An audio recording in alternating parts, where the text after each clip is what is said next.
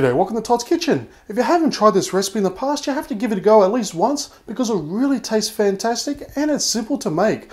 The flavors in your mouth just go, mmm, they're delicious. So join me today as I make my version of a mojito pie. Now we're going to start by making our base. So into a bowl I'm going to place in one and a half cups of crushed up graham crackers or just some sort of all wheat biscuits. Next for some sweetness I'm going to add in 2 tablespoons of sugar followed by 5 tablespoons of melted butter. Now simply give it a good mix around until it's well combined. Next we're going to place our crust mixture into a greased and lined pie dish. And we're going to even out the bottom and just slightly raise it up onto the sides. Now we're going to place this into a preheated oven at 180 degrees Celsius or 350 degrees Fahrenheit for 10 minutes. Now while the pie crust is in the oven, we're going to start on the filling. So we're going to start off with half a cup of freshly squeezed lime juice, and a quarter of a cup of fresh mint leaves. And Next, using whatever you can find around the kitchen, just keep on squishing and squashing those mint leaves until you release that lovely mint flavour into the lime juice. Now once done, just simply strain the juice into another container, just so you don't have all those mint leaves left over.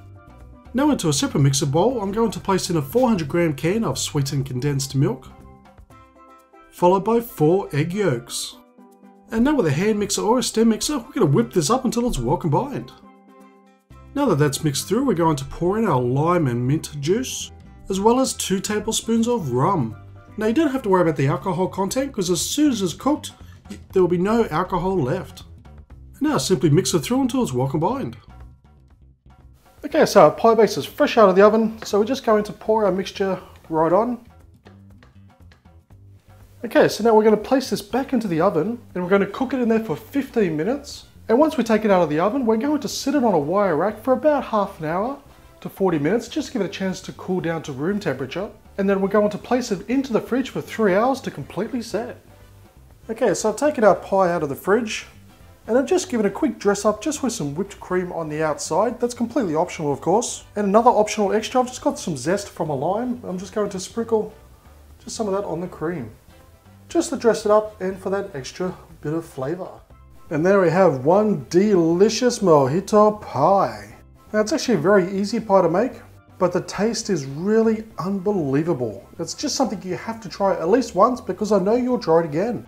It is a sweeter pie, but when you mix in that lime juice and that lovely taste of mint, it really gives it a lovely, creamy, sweet taste. It's the sort of pie you have a slice of and you know you want a second slice. That's how good it is. But no matter whether you have one slice or two, this mojito pie is going to taste simply delish. So please give it a go, try it at least once because I know that you'll absolutely love it. So thank you for watching this episode of Todd's Kitchen.